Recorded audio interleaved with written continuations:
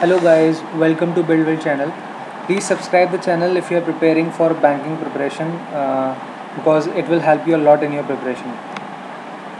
So guys, today was the fourth day of IBPS PO pre-exam and uh, let's analyze exam and discuss the expected cutoff. Level of the exam was almost same as the previous shifts and slots.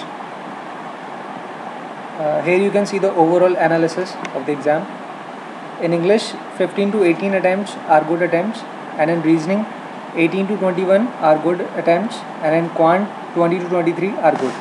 Overall, if you have attempted 54 to 58, then it is a good attempt. The level of quantitative aptitude was easy to moderate. There were 5 questions from series and 5 from quadratic question. Both were easy to moderate. And there were 5 questions from approximation and 10 from uh, data interpretation both were of moderate level and in DI there was two questions. One was of line graph and another was of table. 10 questions were from miscellaneous.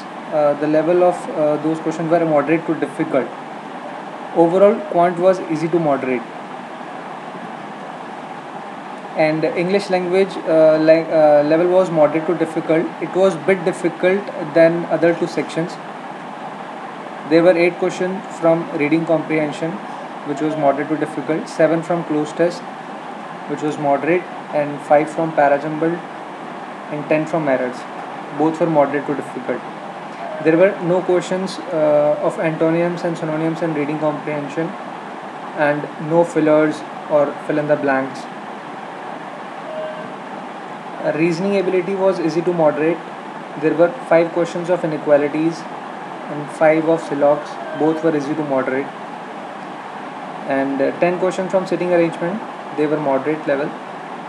One question was of circular and another was of linear arrangement.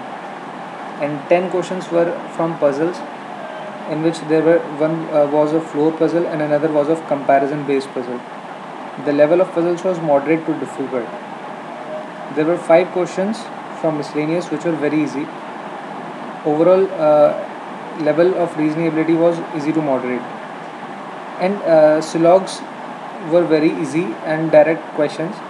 Uh, one question was with uh, possibility statement. And no question from coding and decoding. So expected cutoff uh, is uh, in quant 11 to 13 marks. In reasoning 12 to 15 in english around 7 to 9 maybe less 6 uh, maybe. And overall uh, cutoff is 41 to 46 around. So guys all the best for main uh, exams. Prepare well and see uh, more videos for IBPS mains and static GK in our channel. And thank you for watching this video. Please subscribe the channel for latest updates. Thank you guys